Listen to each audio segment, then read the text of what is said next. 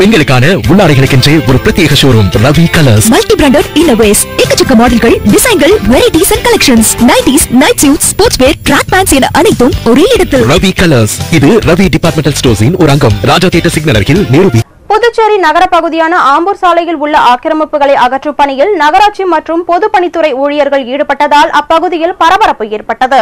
புதுச்சேரியில் உச்சநீதிமன்றம் சாலை பாதுகாப்பு கமிட்டியின் வழிகாட்டுதல் படி நகர பகுதிகளில் உள்ள ஆக்கிரமிப்புகளை அகற்ற அறிவுறுத்தியதன் பேரில் அதன் ஒரு பகுதியாக புதுவையில் கடந்த இரண்டாயிரத்தி பதினான்காம் ஆண்டு சாலை பாதுகாப்பு கமிட்டி மாவட்ட ஆட்சியர் தலைமையில் அமைக்கப்பட்டது. இதனிடையே சாலை பாதுகாப்பு கமிட்டி புதுவை சாலையை ஆக்கிரமித்து வைக்கப்பட்டிருக்கும் கடைகளை அகற்ற உத்தரவிட்டுள்ளது. அதன் அடிப்படையில் பொதுப்பணித்துறை அதிகாரிகள் புதுவை ஆம்பூர் சாலையை ஆக்கிரமித்து கடைகள் வைத்திருக்கும் வியாபாரிகளுக்கு கடந்த எட்டாம் தேதி நோட்டீஸ் அனுப்பினர்.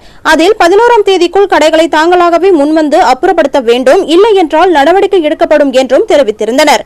இந்நிலையில் வியாபாரிகள் கடைகளை அகற்றாததால் தாசில்தார் குமரன் பொதுப்பணித்துறை செயற்பொறியாளர் ஏழுமலை உதவி பொறியாளர் துளசிங்கம் இளநிலை பொறியாளர் தேவதாஸ் உள்ளிட்ட அதிகாரிகள் மற்றும் காவல்துறை ஆய்வாளர்கள் கண்ணன் முத்துக்குமரன் மனோஜ்குமார் உதவி ஆய்வாளர்கள் ஷியாமலா மற்றும் காவல்துறையினர்.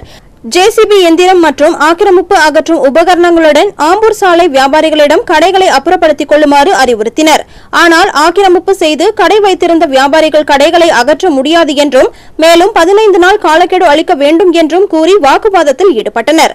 அவர்களிடம் தாசில்தார் குமரன் மற்றும் பொதுப்பணித்துறை அதிகாரிகள் ஏற்கனவே போதுமான கால அவகாசம் கொடுக்கப்பட்டு விட்டதாகவும் இனி கொடுக்க முடியாது என்றும் தீர்மானமாக தெரிவித்தனர். இதனால் ஆத்திரமடைந்த வியாபாரிகள் ஜேசிபி எந்திரம் முன்பு படுத்து மறியலில் ஈடுபட்டனர். ஈடுபட்டனர் காவல்துறையினர் அவர்களை குண்டுக்கட்டாக தூக்கி கைது செய்தனர். இதில் பெண் வியாபாரி ஒருவர் அங்கிருந்து அகல மறுத்து ஜேசிபி எந்திரம் முன்பு படுத்து அழுது புரண்டு ரகளையில் ஈடுபட்டார். அந்த பெண்ணை மகளிர் காவல்துறையினர் அப்புறப்படுத்தினர். இதனிடையே அந்த பெண்ணுக்கு மயக்கம் ஏற்பட்டதால் பரபரப்பு ஏற்பட்டது. மேலும் காவல்துறையினர் வியாபாரிகளிடையே தள்ளுமுள்ளு ஏற்பட்டது. இதனை அடுத்து போராட்டத்தில் ஈடுபட்ட வியாபாரிகள் கைது செய்யப்பட்டனர். இதனைத் தொடர்ந்து அந்த பகுதியில் பதினான்குக்கும் மேற்பட்ட கடைகள் அகற்றப்பட்டன.